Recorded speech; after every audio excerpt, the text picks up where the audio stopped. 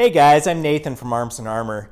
Uh, we make a bunch of different fighting axes, and today I wanted to show you uh, a couple of new ones uh, that we're making right now just for the holidays.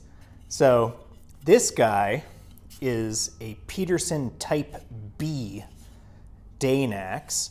Uh, this guy is a little bit earlier period than our other Viking type axes that we sell, which are our type L uh, axe and our type M axe. Uh, the type M axe is the one uh, that's kind of super iconic. I'll show you a picture. And the type L has a forward point. This type B axe uh, has a socket with these spurs and a bearded uh, blade. You can see here that it is quite thin, as most fighting axes are. Uh, it's made out of differentially hardened carbon steel, so we uh, do a slack quenching on this. We heat it, quench it in oil, and then allow the heat to temper it back toward the edge, uh, which gives you a variable hardness on these, which is a very historic uh, way of doing it.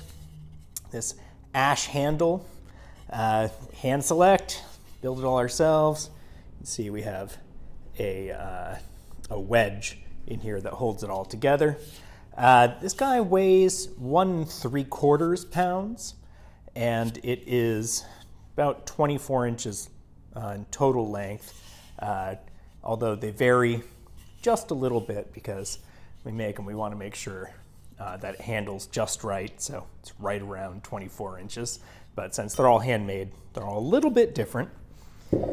And then this guy, uh, we have a few of these in stock for the holidays. I'd call this a Type L axe, but it's more of an elongated Type L uh, than our general Type L war axe or Type L fighting axe, uh, which Type L axes have this point that leads, right? So when you chop, uh, it's the point that hits first, and then it gives a cleaving motion. Wow, that is sharp.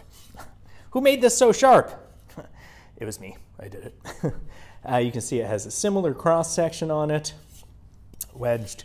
This one here is also about 24 inches long. So we have some of these in stock for our holiday sales, uh, few of each.